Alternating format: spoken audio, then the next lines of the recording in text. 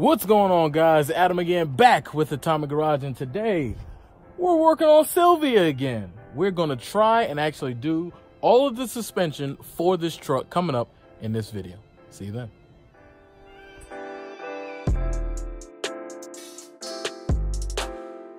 Yes, guys, as the intro just stated, we're going to be working on installing new shocks all the way around on this truck and also rear lift blocks as well, as well as cranking up the front torsion bars. And this is much needed. Also, inner tie rod ends. That needs to be done as well. But the reason why we're doing this is because the truck bounces a lot. You could be riding down the road and it could be just a regular bump and the front of the truck just does this constantly you could feel the springs oscillate constantly. And it's and it is very annoying especially when you get on the interstate where you have those little lines that's in the road that your tire goes over and makes that constant sound. The truck just bounces constantly constantly. So i got these new shocks and blocks and cranking the torsion bar so we can get rid of that and this truck could run a whole lot smoother. So let's get into it now, the one problem that I know that I am going to have is the fact that I don't have a full-size jack. So I will be using those blocks right there to set under the truck so I can bring those little stupid trolley jacks, these little cheap ones that I never buy a good one, to set it up high enough so I can go ahead and lift the truck break the lug nuts and loose and everything like that. That's going to be the most fun part. Not working on the ground, but working with the small, tiny jack. And I know I need to get another jack. I plan on getting one from Harbor Freight. I just keep being cheap and procrastinating. So don't be like me. Don't procrastinate.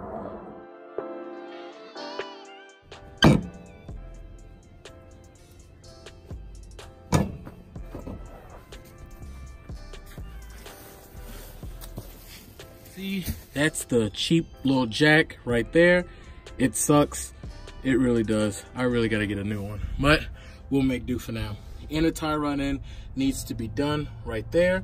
Uh, brakes aren't looking too bad, but I've got a good little lip there. That's what happens when you do a pad slap. It's vibrating a little bit, so I need to get some new rotors uh, pretty soon. But anyway, this is the culprit right here. This is what we shall be replacing.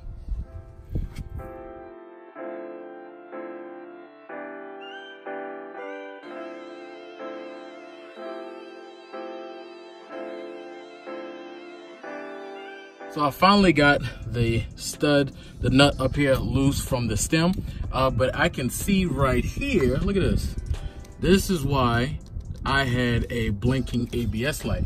This is the wheel speed sensor. Now I just replaced this sensor on the other side of my truck a few months ago for the same very issue. Over time, this becomes brittle and very hard, not as flexible, and then it cracks and it causes intermittent wheel speed uh, speeds to register or not register towards the ECU. So I'm going to have to replace that.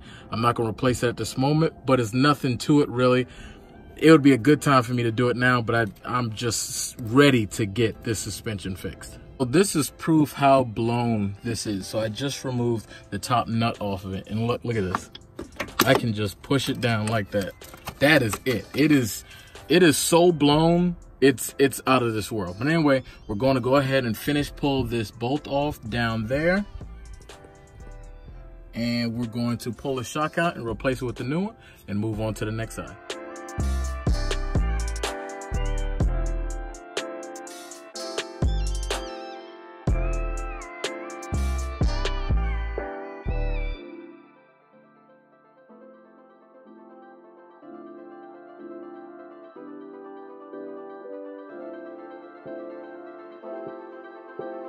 I was going to just leave the, this wheel speed sensor and just let it ride for right now and deal with it. But that blinking ABS light is the most annoying thing. So I'm going to just do a temporary fix with these wires we're gonna temporarily connect them back together. I've got my little kit. I haven't decided, but I think I wanna solder them. I just need to go ahead and make sure I got my soldering and butane fluid and all that good stuff. So I'm gonna keep doing this off camera, then we'll move on to the next side and keep rocking and roll. So is it sloppy? Yes, it is, because I couldn't find any more butane fluid to solder everything, but I just put uh, some, I just was able to connect it and I think it looks all right.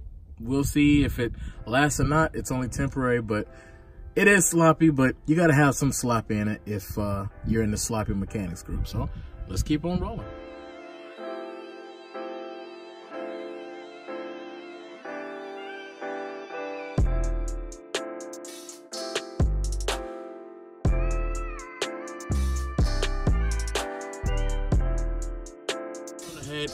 Was cranking my torsion bars. This is right here, my torsion bar. This is the torsion key. Some people replace them with uh, different ones. It's got different drop or lift points that is up, down, inside of here, right here.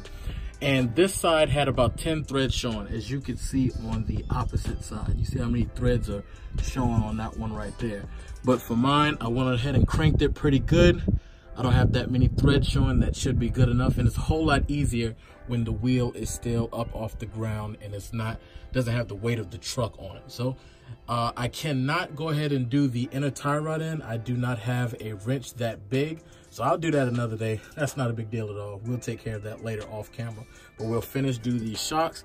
And this side has been taking a while because I did a couple extra things. But now we can just turn on the burners and let's finish this thing up.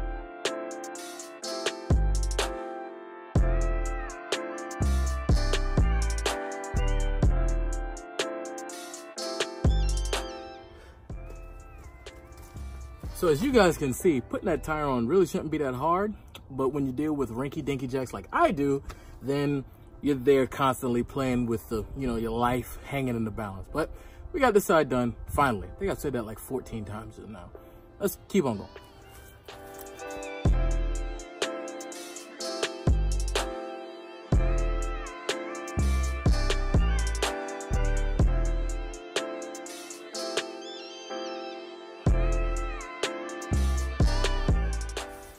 All right, guys, so a little out of breath. Got the second tire back on. Second one was really annoying because that black Craftsman jack that I had completely gave out. Like the most it would actually jack is maybe like like a half an inch to an inch at the most. And all I needed to do was to raise up the rotor, just raise that whole thing up so the top of the shock absorber can, I can thread that down and then go ahead and tighten it down. Couldn't do that. So uh, luckily I still had my everything under my jack stand. So I let one jack down on the jack stand, take that one jack, put it under the rotor, lift up the whole assembly, tighten it up, drop that back down, lift the truck back up, put the tire on. Long overdrawn process. If I just wasn't so cheap before, I'm frugal now, cheap before and just get a good jack. So I got to get a new jack. This job could have been done in no time, honestly.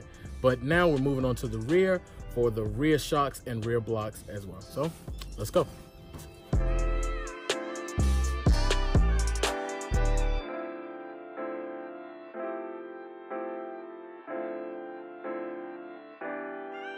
All right, guys, so we've got this side off at least. I still have to jack it up, but I got the lift blocks here and Got some U-bolts here, some brand new ones. They probably will have to be cut and shortened down once they get installed, but we will do that. So now it's time to go back under, jack the whole thing up, and start installing stuff. So let's go. I just noticed I have to pull this wheel off to make this whole install go a whole lot smoother, at least doing it on the ground.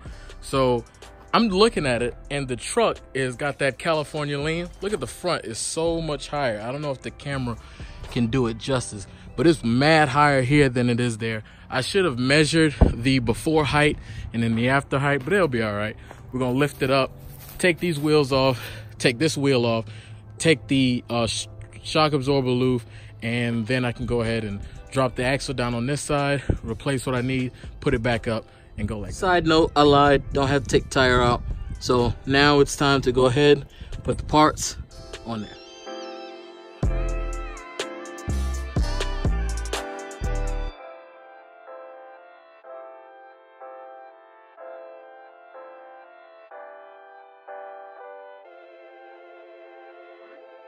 So we got one side installed. Now I still have to go ahead and tighten these bolts up here and then cut these a little bit shorter as well. That'll come, but now what I'm gonna go ahead and do is remove this shock right here, replace this as well, and then I'll tighten everything down on this side, and then I'll move on to the other side. So that way the last thing I have to do is actually cut these short.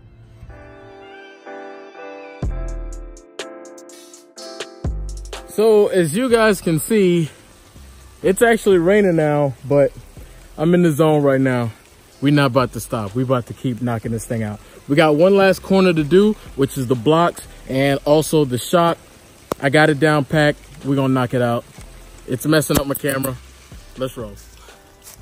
We are done. Finally, after a couple hours, I can't feel my hands and I can only imagine how dirty my clothes are. Does it look bad? Oh yeah, oh yeah, that's pretty awful. So we're finally done. The truck looks higher, the truck looks level, and I know for a fact it's gonna ride good. I'm gonna try and dust off as good as I can, and I'm gonna hop in the truck, take it down the road and see how it feels. But I can only imagine how wonderful it is. So let's do a recap of everything that was done today in the rain.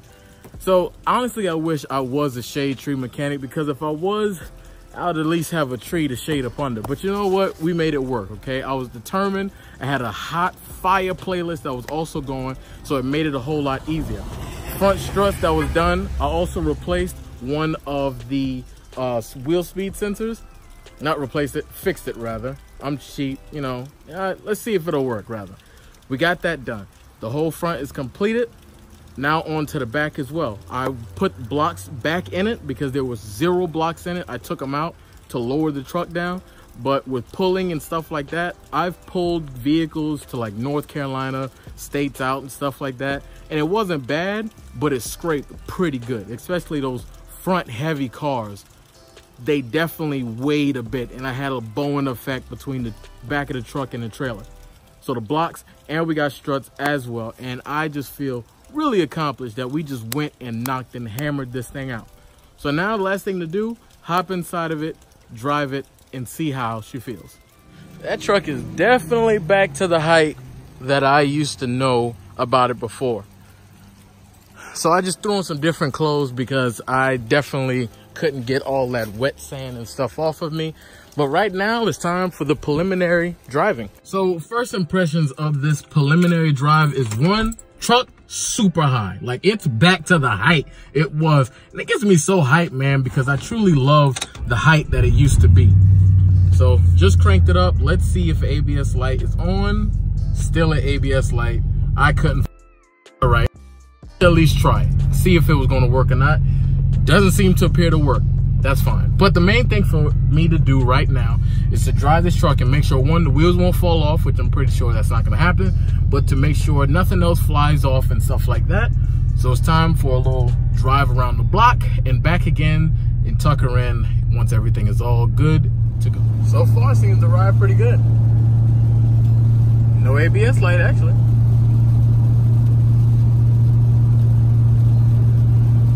So right here is usually about where it goes um, um, um, up and down, up and down like that. And so far, nothing at all. Like it is riding back to normal. It's actually absorbing the shocks, hence the name shock absorbers.